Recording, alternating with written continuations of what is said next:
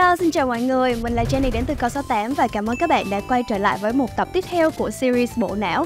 Và trong tập 6 này, mình sẽ nói về lý thuyết trò chơi cân bằng Nash từ toán học đến đầu tư. Nào hãy cùng bắt đầu nha.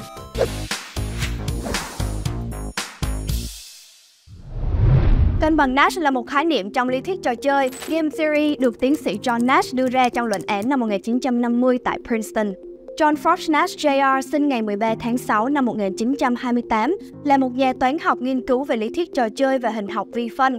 Ở tuổi 30, khi đang công hiến hết mình cho toán học, Nash mắc chứng tâm thần phân liệt kéo dài trong 25 năm. Năm 1994, nhờ những đóng góp giữa cân bằng Nash trong kinh tế, ông đã được trao giải Nobel Kinh tế. Cuộc đời của Nash đã được chuyển thể thành phim với tiêu đề A Beautiful Mind dựa theo cuốn sách cùng tên của Sylvia Nassar và đã đạt 4 giải Oscar năm 2002. Bây giờ mình sẽ lấy một ví dụ đơn giản, đó là mình với bạn cùng đi ăn. Và sau khi ăn xong thì đến lúc tính tiền. Bây giờ mình sẽ có một trò chơi, đó là bạn hãy nghĩ ra trong đầu một con số và sau đó mình với bạn sẽ cùng nói ra một con số đó. Người nào có con số lớn hơn người kia thì sẽ phải trả tiền, chịu không? Ok, bây giờ bạn hãy nghĩ ra một con số trong đầu nha. 1, 2, 3 bạn chọn số 0 đúng không? Vậy thì đó chính là một cân bằng Nash. Cân bằng Nash xảy ra khi mà mình với bạn cùng chọn số 0. Vậy thì các bạn có thể thấy đó là trong lý thuyết trò chơi thì cân bằng Nash là trạng thái mà tất cả người chơi đã đưa ra quyết định tối ưu của mình dựa trên dự đoán về hành vi của các đối thủ. Các người chơi luôn tối đa hóa lợi ích cá nhân. Đó chính là nguyên tắc căn bản của cân bằng Nash. Và bây giờ mình sẽ đưa ra một ví dụ kinh điển và nổi tiếng nhất của cân bằng Nash, đó là thế tiến thoái lưỡng nan của hai người tù nhân. Giả sử bây giờ có hai người tù nhân, một người tù nhân A và một người tù nhân B. Cảnh sát đã biết được hai người này phạm tội rồi, nhưng mà muốn đối chiếu lời khai từ hai người, nên đã nhốt riêng A và B vào hai phòng giam khác nhau. Cả hai tên tù nhân đều nhận được một lời đề nghị, đó là nếu bạn đồng ý khai ra và làm chứng chống lại tòng phạm thì bạn sẽ được thả tự do và tên còn lại sẽ bị 10 năm tù giam.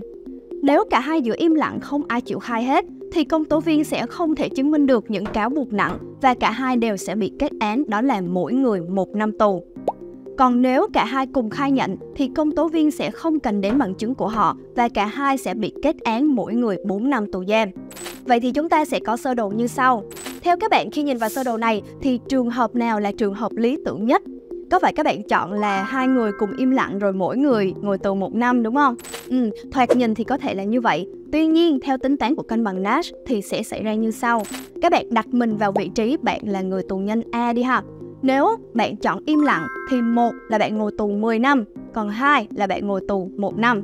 Còn nếu như bạn chịu khai nhận thì một là bạn ngồi tù 4 năm, còn hai là bạn sẽ được thả tự do. Vậy thì các bạn chọn phương án nào? Im lặng hay là khai nhận? Tất nhiên là khai nhận rồi đúng không? Và tương tự như vậy đối với người tù nhân B, họ cũng sẽ có cùng suy nghĩ và họ chọn khai nhận. Vậy thì kết quả đó là cả hai cùng khai nhận. Cho nên kết quả thực tế đó là cả A và B cùng khai nhận và mỗi người ngồi tù 4 năm và đây chính là điểm cân bằng Nash đạt được.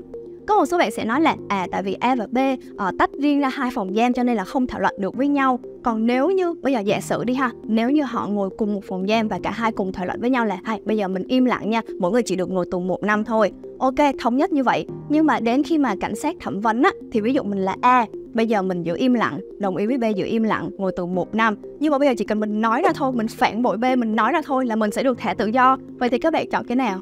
Đó thì người tù nhân A sẽ có xu hướng đó là khai nhận ra và tù nhân B cũng tương tự như vậy họ sẽ nghĩ và phản bội A vậy thì kết quả không có gì thay đổi hết cả A và B cùng khai nhận đó chính là điểm cân bằng Nash đạt được Vậy còn trên thực tế thì sao? Các bạn có bao giờ thắc mắc là trên cùng một con đường hay là một khu vực lại có rất nhiều quán cà phê hay là quán ăn đặt san sát nhau để cạnh tranh hay không?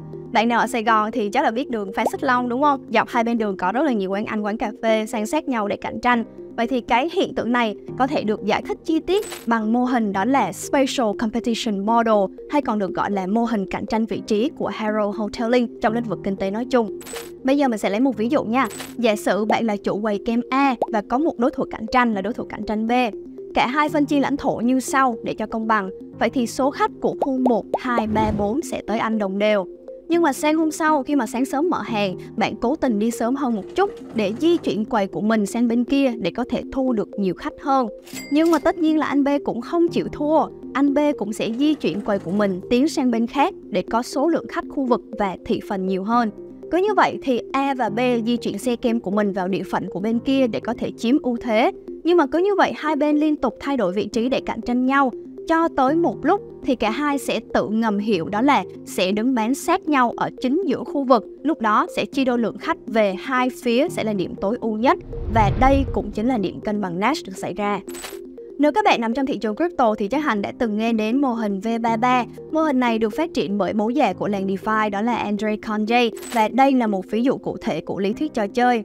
Mô hình này người dùng tham gia bằng cách khóa token và nhận thưởng theo tỷ lệ cố định. Sở dĩ tên gọi V33 nhằm mục đích đó là tỷ lệ thưởng tăng lên 300% trong vài ngày, sau đó sẽ giảm dần về 0% trong vài tháng, khuyến khích người dùng tham gia khóa token lâu dài.